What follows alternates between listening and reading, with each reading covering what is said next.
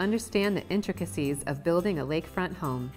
Scott Lowell believes in utilizing traditional building techniques in order to create a timeless home.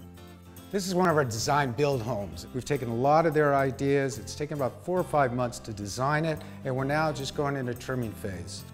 One of the key elements the family wanted for this house was to reproduce a conservatory, and they wanted to have an area, sitting area, and also plants. So we have done, built a conservatory, designed, and had their, actually had their contractor from Minnesota build it.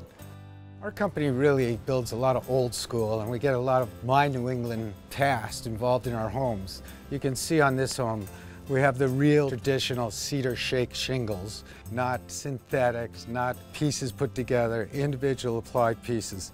We also use reclaimed brick. This brick actually came out of streets of Iowa that we brought out for the home. So this you'll see the first process of starting our electric floor mat. This underlayment is all set to weave the electric flooring throughout it. Just a great feature and standard on all of our homes. Although it doesn't show it right now, this will be the master bedroom. We'll end up having custom paneling up about 72 inches on the walls. We have wood ceiling, wood beams. This house will look like it was, it's been here for 150 years. And uh, what we really want is when the next guys come to remodel it in 100 years, they say, that was a great home.